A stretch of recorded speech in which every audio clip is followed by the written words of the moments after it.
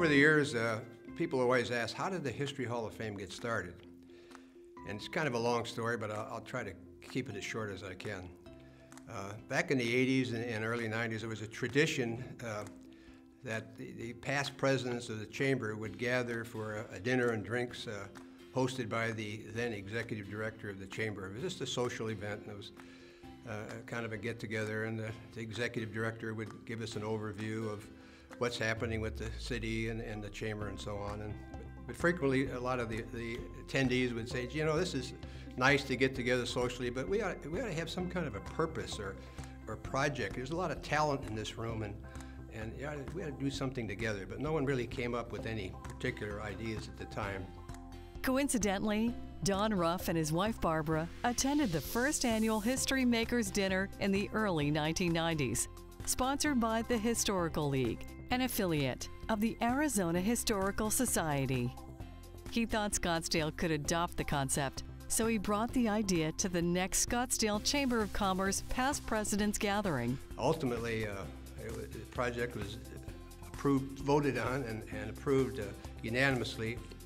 And uh, fortunately, Phil Carlson, the executive director of the chamber, stepped up and said he'd do the administrative support for the project. Uh, and he assigned uh, his longtime Secretary Executive Assistant Leslie Nyquist to be our, our program coordinator. I guess because it was my idea, uh, I was appointed the chairman of the planning committee and ultimately uh, chaired the first annual event. Uh, the members of the planning committee were key and, and, and we met for six to nine months uh, before the first uh, dinner that we held. And, and some of the members of the planning committee were Bill Arthur and Don Chambers, Dave Hallstrom, Bob Carrots, plus Art DeCabooter, Phil Carlson, Tom Lennon, who was then president of the Scottsdale Historical Society, and I asked Paul Messenger, who was not a past president, but to join us because of his phenomenal memory and, and deep knowledge of, of the early years of Scottsdale history. And, and he was invaluable in coming up with uh, suggestions and, and nominees in, in, the early years of our project. We ended up with uh, 15 individuals, half of which were deceased, uh, for to honor the first dinner. It was, it was, quite a long night. You know, the honorees uh, uh over the past 25 years have, have, come from all different walks of life, and uh, they came from the arts, health, healthcare, business leadership, political leadership, public service, retail service, land development, construction, youth services, philanthropy, and so on. And each in their own way made a valuable contribution uh, to making Scottsdale the great city that it is today. Over the past 25 years, the Scottsdale History Hall of Fame has inducted 135 individuals and 25 organizations or businesses. About year five, uh, we finally added nonprofits, uh, at least uh, one, one per year to be honored. Similarly, uh, in, in, doing research on individuals, we also, from time to time, became aware of uh, several for-profit companies that had a huge economic impact on Scottsdale, which really improved the quality of life of all of our citizens. And I want to acknowledge and thank the financial support uh, given to the project by the Scottsdale Charros over the past 25 years.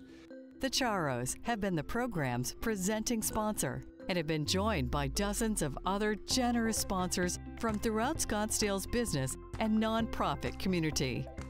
Although the uh, History Hall of Fame was not intended to be a fundraiser as such, we were pleased that every year we were able to give a financial contribution to the Scottsdale Historical Society for benefit of the museum. You know, over the years, the uh, History Hall of Fame dinner has become uh, the signature event in Scottsdale for for attendance. Uh, we, we, usually have four to 500 uh, attendees, and uh, ma many of the long-time residents here uh, look upon it as somewhat of a reunion. It's a, a time to get together to see each other, but, and then to re renew their, their memories of Scottsdale history.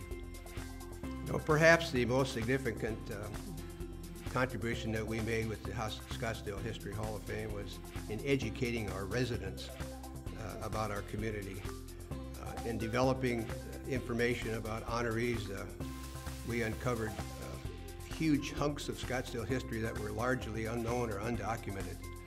and these are now uh, preserved in, in the various video presentations that we do, we've done every year. And by the way, all of these presentations are, are on file, a permanent file at the Scottsdale City Library. Well, here we are at our 25th year, and uh, I hope that you'll all be with us at our 50th anniversary. Thank you.